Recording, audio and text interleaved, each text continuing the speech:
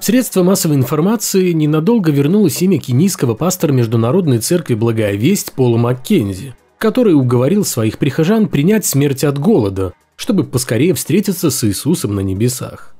И обязательно до запланированного самим же проповедником на август 23 года конца света.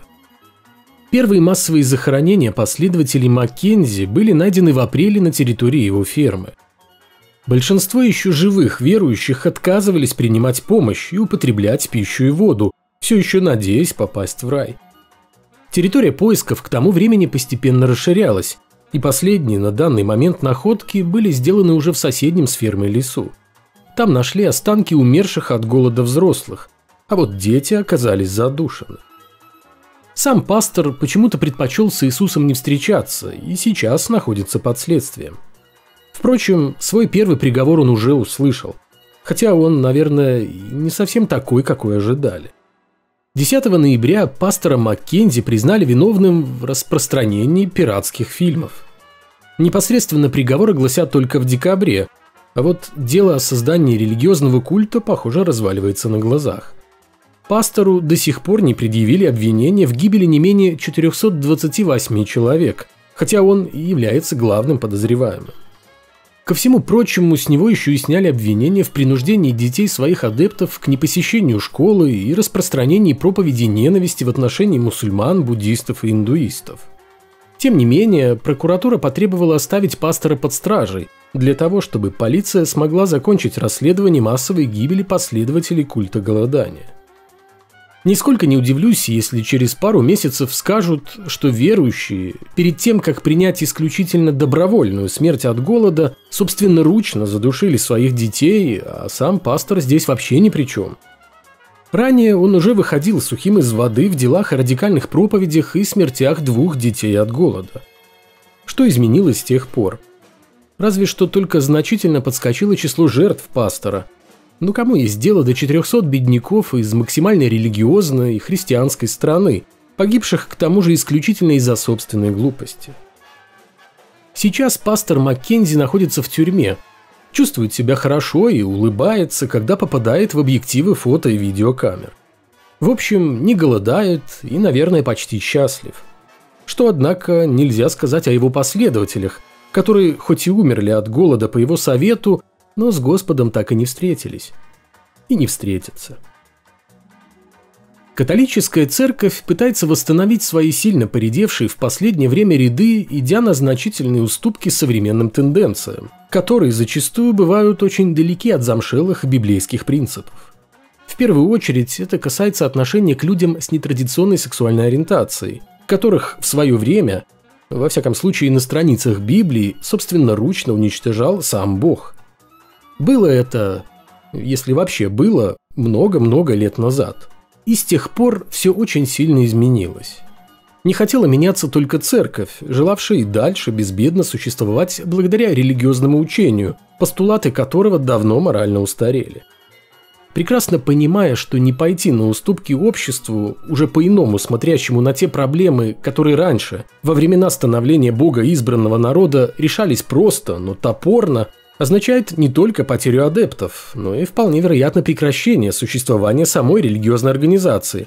В католической церкви все чаще решаются на весьма непопулярные в глазах консерваторов шаги. Ну а что? Хочешь жить, умей вертеться. В конце октября папа Франциск неожиданно дал добро на участие в церковных обрядах гомосексуалистов и трансгендеров. При одном условии – если их присутствие в таинствах не будет вызывать недовольство общины и при отсутствии риска дезориентации верующих. Такое решение стало логическим продолжением объявленной Франциском смене парадигмы, вызванной необходимостью учета современных достижений науки, культуры и опыта человечества. Другими словами, дабы лучше реагировать и отвечать на вызовы времени, папа предлагает церкви меняться. Или, если быть точнее, подстраиваться под нынешние реалии для того, чтобы евангелизационная миссия католической церкви могла идти в ногу со временем, а не отставать от него и тем самым быть неэффективной.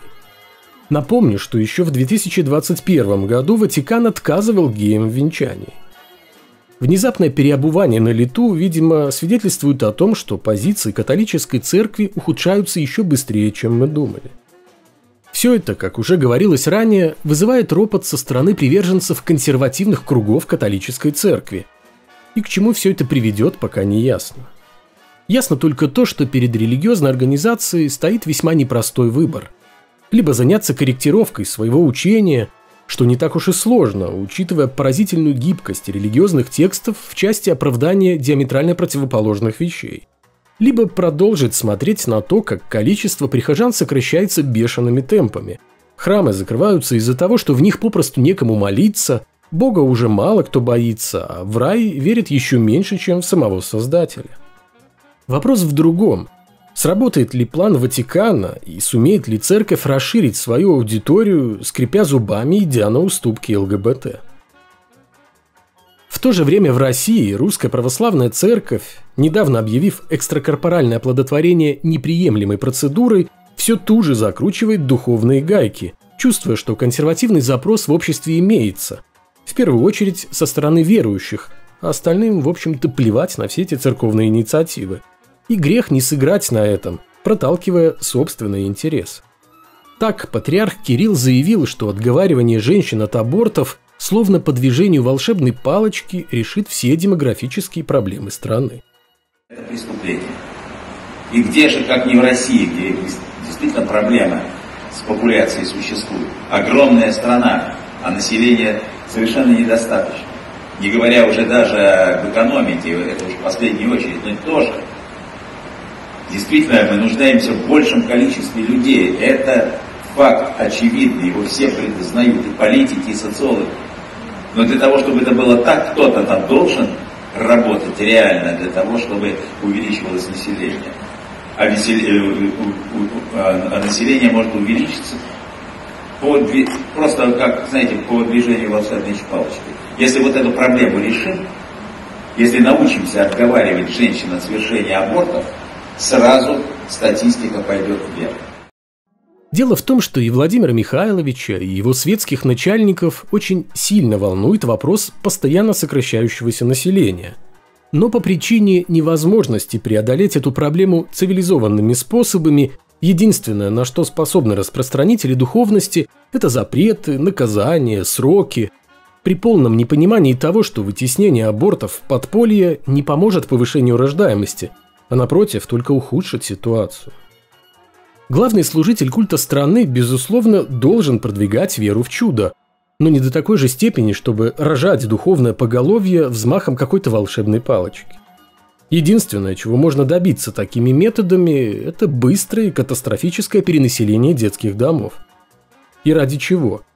Просто потому, что в большой стране, по мнению патриарха, должно жить много людей – или потому, что РПЦ понастроила кучу храмов, а ходить в них некому? В 2019 году патриарх утверждал, что если бы не аборты, из-за которых не рождается около миллиона детей в год, то где-то к 2040 году население России достигло бы 166 миллионов. Однако никаких миллионов абортов в России нет и в помине. По данным Росстата, в 2017 году было сделано примерно 780 тысяч абортов – Минздрав тогда озвучивал еще меньшую цифру – 627 тысяч. Простой подсчет показывает, что если прямо сейчас на законодательном уровне запретить аборты в тех случаях, когда беременность не угрожает здоровью матери, то получится вовсе не та масштабная цифра, какую в свое время озвучил глава РПЦ. Порядка 300 тысяч детей в год даже при самых смелых подсчетах. Но и это не главное – Главное то, что после своего запрета практика абортов как таковая никуда не исчезнет. Она просто уйдет в тень. И Гундяев аккуратно обходит стороной очень важный вопрос об угрозе для здоровья матерей, которые все равно будут прерывать беременность, но уже в подпольных условиях. В 1936 году в СССР сначала запретили аборты, а спустя 20 лет вновь разрешили – Потому что после запрета и ожидаемого, но короткого всплеска рождаемости число новорожденных стало постепенно снижаться, а власти столкнулись с проблемой детоубийства и увеличения материнской смертности из-за того, что женщины проводили аборты в домашних условиях. История, увы, нас ничему не учит. Вернее, она как раз таки пытается. но брать у нее уроки мы категорически отказываемся, воображая, что у нас имеется свой, особый путь, по которому мы обязательно должны пройти, даже если существует высокий риск набить немало шишек от контакта с граблями, разбросанными на протяжении всей этой дороги. Граблями, на которые мы уже наступали раньше, причем не единожды, и еще не раз наступим. Не особо убедительными оказались и недавние слова главного служителя культа страны о готовности церкви забирать на попечение детей, рожденных после отказа от аборта. Всем понятно, для чего патриарху нужны эти сироты. Но легко сказать, не просто сделать. А Владимир Михайлович, кроме дешевого популизма, судя по всему, даже и не пытался что-то предпринимать. Хотя, думаю, вариант с переполненными детскими домами вполне устроит Гундяева и его организацию, везде и всюду старающуюся распространять религиозные споры. Тем более, что с бесправными сиротами и работать на ниве духовности гораздо проще. А в ворота Владимира Михайловича уже давно настойчиво стучится та же самая беда, которая не дает покоя папе римскому. Помните сумасшедшие коронавирусные 2020 и 2021 годы? Это было время, когда на свет Божий вылезли самые страшные демоны суеверия, скрывающегося за внешне безобидной личиной религиозности. Внезапно все стали большими скептиками, но лишь тогда, когда дело касалось доверия науки в деле борьбы с инфекционными заболеваниями, вакцинацией и тому подобное. Появились отрицатели COVID-19, которым впору было объединяться в полноценную религиозную общину под лозунгом «Не страшнее ОРВИ». Они не верили ни в какой вирус, но при этом искренне полагали, что он распространяется при помощи вышек связи 5G, из-за чего и сражались с этими вышками с переменным успехом. Буйным цветом расцвела старая добрая конспирология. Немало досталось Биллу Гейтсу, которого обвинили почти во всех смертных грехах, в том числе и в работе на некое мировое правительство и, главное, в намерении чипировать все население планеты путем распространения вакцины от COVID-19. Церквям тоже пришлось несладко. Те священники и миряне, которые сверх меры бравировали своей верой и демонстративно не боялись заболеть, ибо, как считали, их оберегает сам Всевышний, в конце концов заболевали, а многие из них умирали и только на смертном одре понимали, что их подвела то ли чрезмерная вера, то ли сам Бог. Кто-то закрывал свои культовые сооружения, мудро признавая компетентность и авторитет ученых. Другие пеклись исключительно о духовном бизнесе, так что при остановке деятельности пунктов по распределению Божьей благодати и отмене массовых религиозных мероприятий слушать не хотели, чем вносили собственную лепту в распространение инфекции. Короче говоря, невежество слишком дорого обошлось человечеству во времена пандемии. Однако, если в обозримом будущем нам еще раз придется столкнуться с чем-то подобным, а тем более во много раз худшим, то, боюсь, предыдущий печальный опыт пандемии вряд ли поможет сократить количество жертв. В ноябре Сенат штата Висконсин, большинство мест в котором заняты республиканцами, принял поправку к Конституции штата, согласно которой церквям разрешается оставаться открытыми даже во время чрезвычайной ситуации в области здравоохранения. Таким образом, основной закон Висконсина дополнился следующим абзацем – Штат или политическое подразделение штата не должны отдавать приказ о закрытии или запрете собраний в местах отправления культа в ответ на чрезвычайное положение на национальном, государственном или местном уровне, включая чрезвычайную ситуацию, связанную со здравоохранением.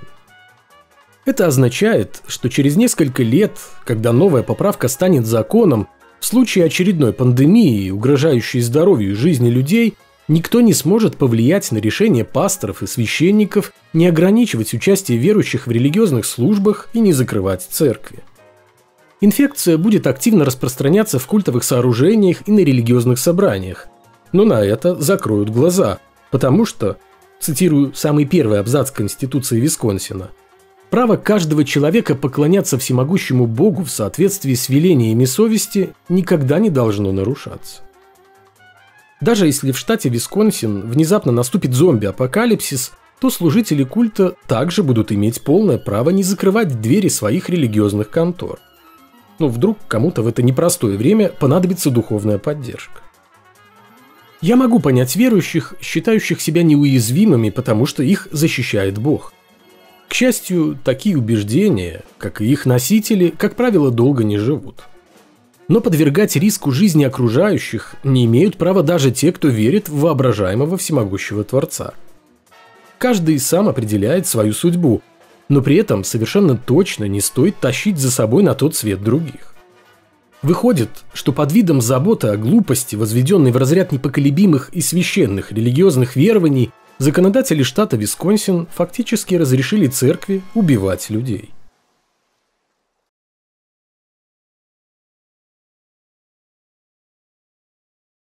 Многие люди не верят в чудеса, потому что в Бога не верят. А что такое чудо? Чудо – это такое действие силы Божией, которое мало объяснимо с точки зрения человеческих законов, обычаев, культуры и так далее. Что-то необычное, чудное или чудное, как в народе говорят. То есть то, что не умещается в сознании. Вот в каком-то смысле возвращение иконы Казанской Божией Матери в дом свой, в этот храм, воссозданный, кстати, после полного уничтожения, несомненно является знаком милости Божией для всех нас, а значит чудом Божьим. Ну и, конечно, особая ответственность за клирк, где пребывающий, чтобы перед этим образом постоянно совершались молитвы за страну нашу, за президента нашего, за патриарха, за властей, за воинство, за духовенство, за народ наш. Потому что ведь э, милость Божия через Деву Марию, Царицу Небесную, через святых угодников простирается к нам в ответ на нашу веру и на нашу молитву. Подлежащий камень вода не течет – и если у нас нет этого внутреннего движения сердечного, если ослабляется наша вера, если возникает такое кощунственное привыкание к святыне, то тогда и благодать не действует. Вот дай Бог, чтобы ток благодати был сильным, исцеляющим и укрепляющим нас. Источником этого тока является сам Бог – через его пречистую Матерь, через святых угодников, через святыни. А вот на конце провода мы, каждый знаком сегодня с тем, как осуществляется перемещение электронов через провод, как осуществляется электрическая связь. И все знают, что должен быть источник и должен быть приемник. Вот источником благодати является Бог, а приемником мы являемся сами – если приемник выключен, то и тока нет. Господь не прекращает быть источником, даже по нашей греховности. А вот мы часто свой приемник отключаем. Как я говорю, по неведению, по забвению, по окамененному нечувствию или по какой-то непонятной, иррациональной невере в Бога. Отрицание Господа лишь только потому, что у Мишкам человек не может все это хватить. Ну, если не понимаю, значит и нет. Ага, дули вам всем.